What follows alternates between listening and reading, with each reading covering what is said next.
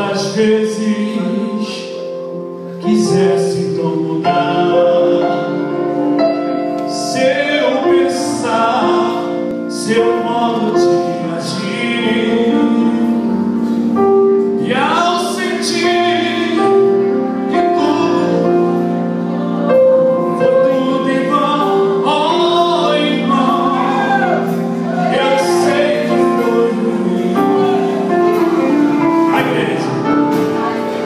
coisa